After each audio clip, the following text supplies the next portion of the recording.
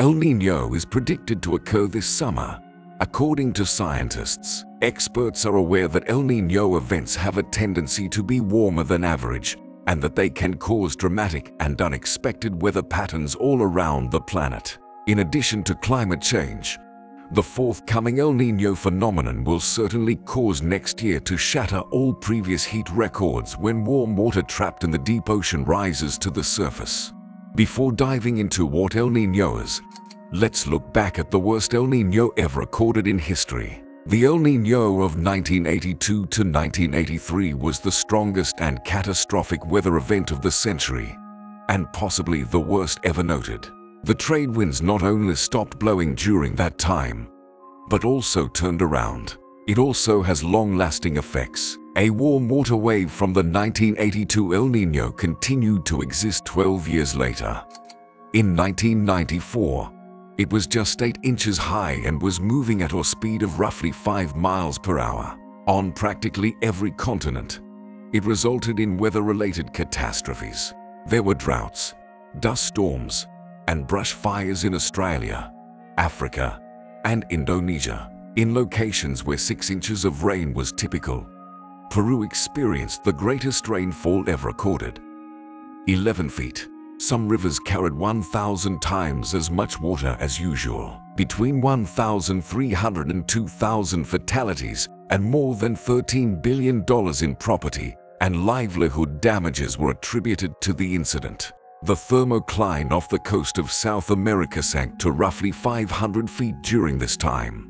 The sea surface temperatures in the Peruvian coastal community of Paita rose 7.2 degrees Fahrenheit on September 24 in only a single day. Encephalitis outbreaks on the U.S. East Coast were a result of the 1982 to 1983 El Nino, which were also secondary issues. This was because of a warm, rainy spring, which was ideal for mosquito breeding. Increased rattlesnake bites in Montana as hot, dry weather drove mice from high elevations to low elevations in search of food and water. An increase in bubonic plague in New Mexico as a cool, wet spring provided favorable conditions for flea-ridden rodents. An increase in shark attacks off the coast of Oregon as a result of unseasonably warm sea temperatures and a spike in spine injuries in California as surfers were fooled by sea floors altered by weather along the coast. A decrease in the salmon harvest and above average temperatures seen in Alaska and northwest Canada have been linked by some meteorologists to El Nino. It was the hottest winter in the eastern US in the previous 25 years. The Atmospheric and Environmental Research Incorporation team in Cambridge, Massachusetts, led by David Salstein and Richard Rosen, captured possibly the most remarkable impact of the 1982 to 1983 El Nino. They discovered that variations in the typical pattern of the jet stream and trade winds caused a little shift in the Earth's angular momentum. The duration of the day grew by 0.2 milliseconds in late January, when El Nino was at its strongest. The warm phase of the Pacific Ocean's temperature cycle is known as El Nino. And this year's El Nino is expected to be very strong and have a major impact on global weather patterns. It's likely to break new heat records, intensify rain in South America, exacerbate drought in Africa, and destabilize the world economy. It might already have contributed to this year's early season heat waves in Asia. The World Meteorological Organization's Secretary General, Petteri Taalas, stated earlier this month that a hotter El Nino is anticipated to develop in the upcoming months and that this will work in conjunction with human-induced climate change to drive global temperatures into unprecedented territory. This will have significant effects on the environment, water management, food security, and human health. We must be prepared we anticipate that the next El Nino won't be inexpensive, according to a research published earlier this month in the journal Science. The one that occurred in 1997 to 1998, one of the most significant in history cost $5.7 trillion in economic losses in nations all over the world. In comparison to earlier projections of up to $96 billion, that is significantly more as storms and floods intensified in its aftermath. It was also held accountable for the 23,000 deaths that resulted from it. These effects will likely be amplified further by rising average temperatures. El Nino events might cause $84 trillion in economic losses by the end of the century, according to a science study. Even if every country adhered to its current commitments to reduce greenhouse gas emissions to halt climate change, these results together suggest that while climate mitigation is essential to reduce accumulating damages from warming, it is imperative to devote more resources to adapting to El Niño in the present. The researchers concluded, this may seem like a lot for a meteorological event brought on by Pacific Ocean water that is a little warmer than usual. However, as it happens, the planet's largest ocean, which makes up nearly one-third of its surface, turns out to be a powerful driver behind the weather all over the world. In the Pacific Ocean regions close to the equator, even seemingly insignificant changes in temperature, wind, and current can have a long-lasting impact on weather patterns. The capacity of scientists to forecast when and how severely these cycles will intensify has increased.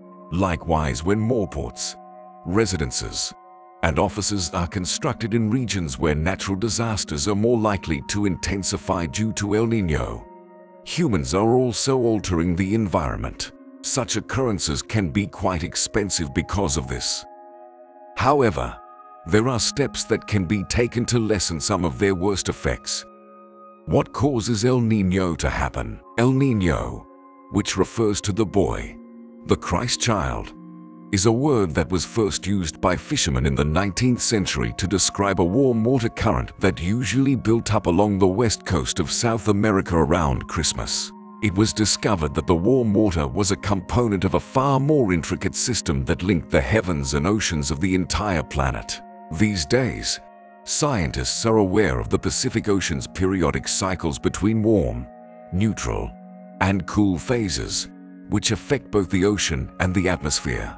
These cycles occur generally every two to seven years. The El Niño Southern Oscillation, or ENSO, is the name for this alternating pattern. According to Michael McPhaden, a senior scientist at the National Oceanic and Atmospheric Administration NOAA, it is the strongest fluctuation of the climate system on the planet. The Pacific Ocean is enormous, and this should be understood. The Pacific Ocean has an average depth of 13,000 feet but may go down as low as 36,000 feet. And that's just the surface area. In addition to traveling in all four directions, water is also moving up and down. In addition to temperature and salt gradients, wind also influences these currents.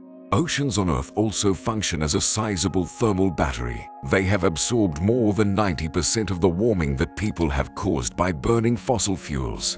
And the Pacific, at least, seems to be warming very quickly. All of this combines to create a massive ocean of energy that has the power to change the planet. Warm Pacific Ocean water is forced from east to west around the equator by wind during ENSO's neutral phase in comparison to the coast of South America.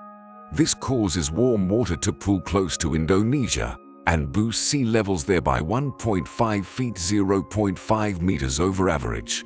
Rainstorms are fueled by the warmer water near Asia, which evaporates more easily. Also, as South American surface waters are pushed away from the continent, water from deeper in the ocean rises, carrying with it beneficial nutrients like phosphate and nitrogen. Upwelling is a phenomenon that is vital for feeding marine life. Upwelling zones are where almost half of the fish in the world are captured. This engine changes gears when the El Niño phenomenon intensifies. As the trade winds slow down, the warm water near Asia begins to slosh back eastward over the Pacific, eventually reaching the coast of South America. Since evaporation and precipitation are also moved by the drift in warm water, Peru and Ecuador often see greater precipitation while Southeast Asia and Australia tend to get drier. Research scientist at NOAA Dylan Amaya stated, It creates a lot of convection and a lot of thunderstorms in a part of the world that doesn't always have that activity. You release a lot of energy and heat into the atmosphere, and this creates waves that propagate in the northern hemisphere and the southern hemisphere symmetrically. Then, these disturbances may alter weather patterns all throughout the planet. For instance, El Nino often causes more rainfall in the southwest and less in the Pacific Northwest in the US. It's one of many things that affect the weather, though, so it might be difficult to predict how it will behave in a certain year. It isn't necessarily a one-to-one relationship. According to Amaya, sea surface temperatures in the equatorial Pacific must remain 0.9 degrees Fahrenheit 0.5 degrees Celsius above the 30-year average for three months in order to be considered an El Nino. It's difficult to declare for sure that the world is in an El Nino year at the moment because of the shifting seasons. However, scientists promise that they will have a better response in the upcoming weeks. Our forecasting ability significantly improves once spring is over. According to Amaya, this engine also has a reverse gear. A La Nina is a phenomenon where the trade winds that blow from east to west across the Pacific get stronger and cool the area near the equator. This typically has a cooling effect on the entire planet. Having said that, are you prepared? Please subscribe to Weather Collapse if you want to know more and be updated on the latest news about natural calamities or disasters happening all over the world. And don't forget to like today's video. We'll see you in the next video. Thanks for watching.